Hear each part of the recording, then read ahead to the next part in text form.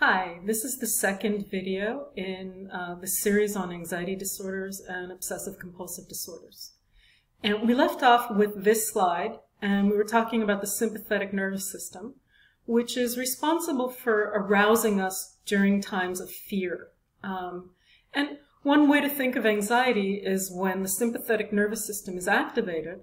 So we have the heart rate, the sweating, the um, the the warmth, the, the feeling of adrenaline, but there's no real external threat.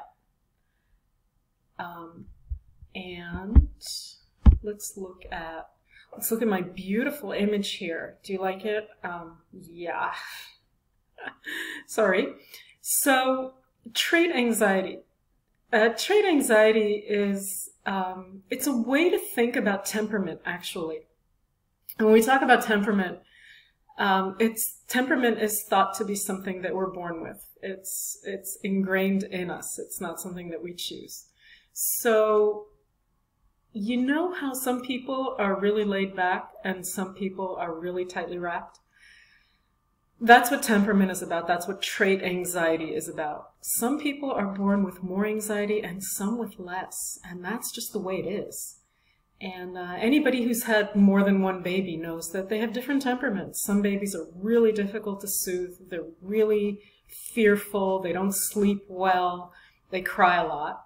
And some babies are just really chill and laid back and give you that, you know, toothless grin.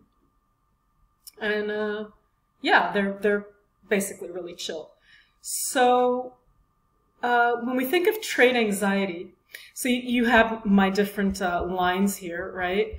One way to think of it is uh, up here, let's say would be panic. And down here would be, oh, I don't know, almost asleep. Really, really calm. And somewhere in the middle is, I, I, I don't like the word normal. But somewhere in the middle is an absence of either too little or too much. Okay. Now, the thing about trait anxiety is that everybody has their own normal. Um, so you have your, your set point, you know, when you're, when, when nothing is going on or nothing specific, you have your set point and that might be high. Like the little dog that you saw in one of my videos, uh, we joke that he's set to shiver so when nothing's going on, he's anxious and sitting there just shivering. And if something's going on, oh my God, it's just, he's out of control, right? So he would be, oops, sorry, I didn't mean to click on that.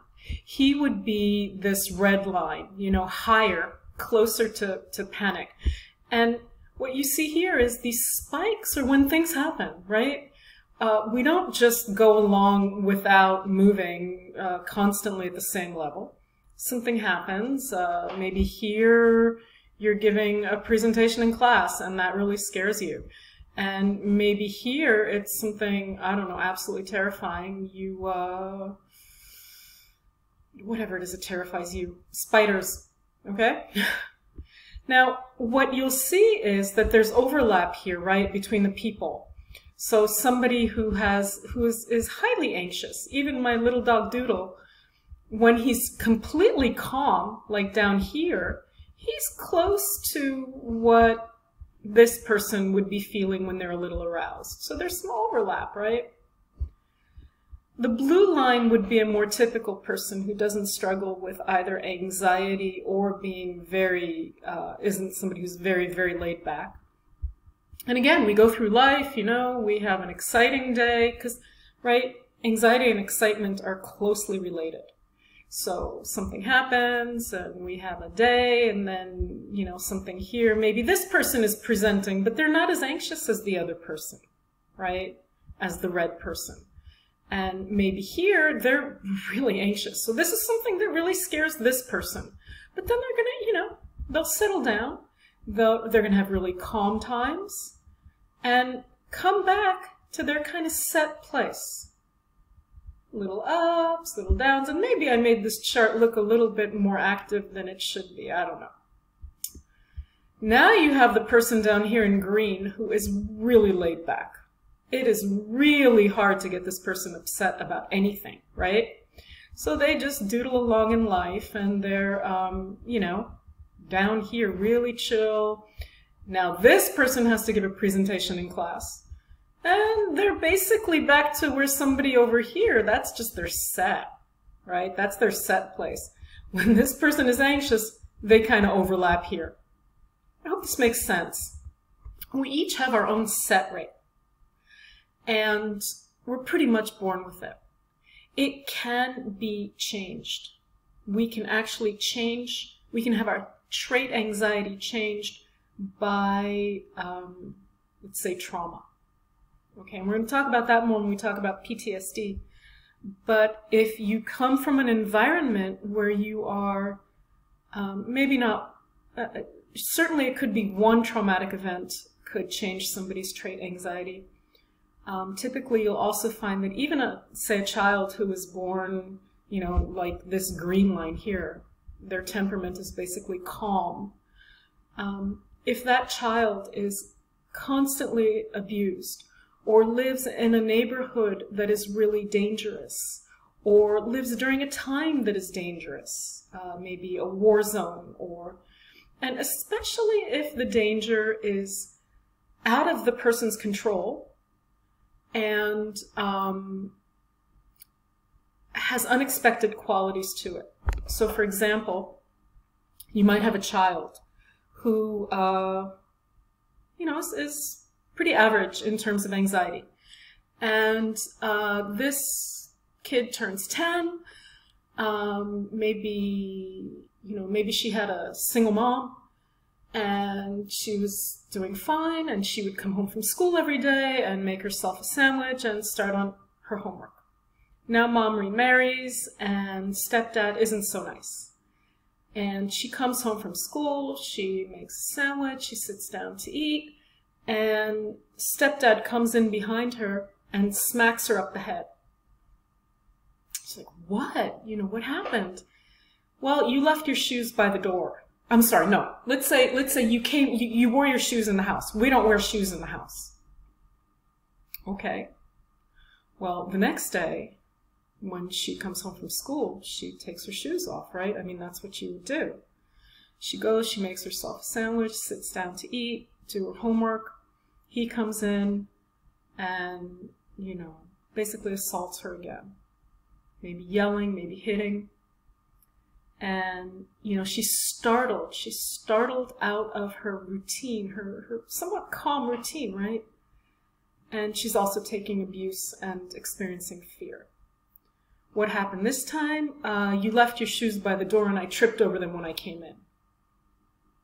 Okay, well, the next day she's really careful with her shoes. She puts them in the closet, right? And she goes and makes herself a sandwich, sits down, and maybe it's not the next day. Maybe it's been calm for a week, and now suddenly one day he comes home and he's assaulted again. What happened? Uh, when she made a sandwich, she left some crumbs on the counter. So she's learning that there is no way that she can control his anger. But she's going to keep trying, right? She's going to keep trying to do the right thing, and she's going to start getting really vigilant. Start checking around her, making sure that she's got all of her crumbs cleaned up, her shoes are in the right place, and that she's not doing anything annoying, and not even knowing what annoying might be her trait anxiety is going to start rising. In other words, she's going to be more anxious even when she's not being threatened because life has become more threatening for her. And she might stay that way now. She might be changed. So that's how somebody's trait anxiety can change. It can happen, like I said, from war, from a dangerous neighborhood, terrorism, abusive relationships. Um, and uh, when, look at this red person, we're just going to call them the red person, who was born pretty tightly wrapped. This person has has higher anxiety than typical, right? And then they have spikes. Now this spike might actually be a panic attack, right? This is really high. Somebody born with this much uh, trait anxiety is going to be more likely to develop an anxiety disorder. Somebody down here is going to be a lot less likely to develop an anxiety disorder. This person already tends towards it. This person, it takes a lot of work to get them anxious. It doesn't mean that they won't have other issues maybe, but anxiety probably won't be one of them. Okay, and I'm going to end this video here.